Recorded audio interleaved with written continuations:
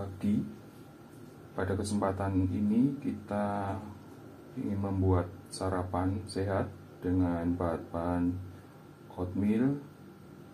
Ada juga kismis di sini. Ada beberapa buah stroberi. Ada juga buah pisang. Terus ada sekitar 500 ml air yang akan kita didihkan sebentar lagi untuk bahan pencampurannya. Nah, kita masukkan dan kita tuangkan ke dalam panci ini. Dan kita siapkan untuk Nah, sambil kita menunggu air mendidih, kita siapkan bahan-bahan dan cara untuk pembuatan oatmealnya. Biasanya kita siapkan bahan ini dalam suatu mangkok di sini. Biasanya saya menggunakan sekitar 5 5 sendok ini karena saya sukanya yang cepat saji, jadi saya pilih quaker yang warna merah ini. Kita ambil sekitar 5 sendok, biasanya saya satu dua tiga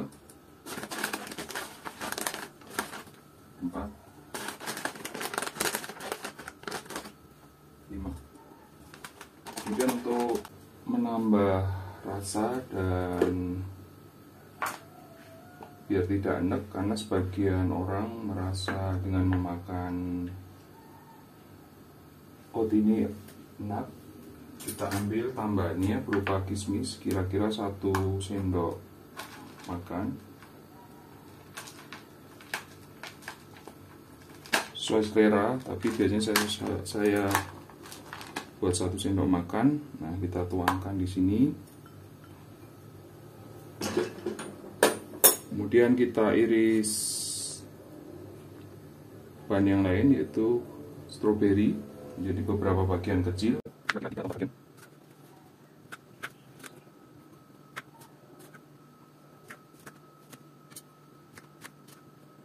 setelah itu kita masukkan ke dalam pot tadi kemudian untuk nambah tambahnya kita beli pisang yang saya pakai pisang jenis pisang emas soalnya dua buah bisa potong beberapa bagian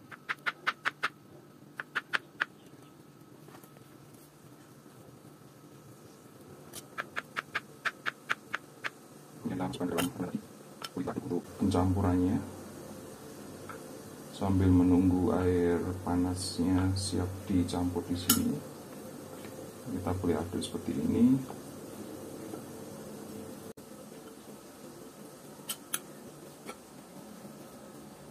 kelihatan sangat menggoda apalagi nanti sudah dicampurkan dengan air panas. Makanan sehat yang biasanya saya makan setiap pagi untuk beraktivitas kemudian kita siapkan air panas ini dan kita matikan. Kita tuangkan. Ini saya bikin 500 ml karena ada beberapa mungkin yang ingin uh, hasilnya lebih encer.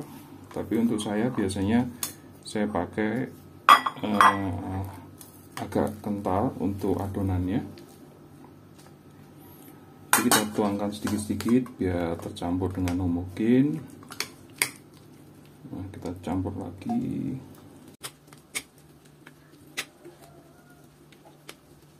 Aduk terus. Karena bakar ini oatmeal ini mempunyai sifat cepat mengental apabila tidak ditambah dengan air. Jadi makanya kita harus agak cepat untuk mengaduknya. kita lagi air sedikit sedikit pastikan adukan yang cepat juga agar tidak didapat hasil yang cepat mengental. Nah kita aduk terus.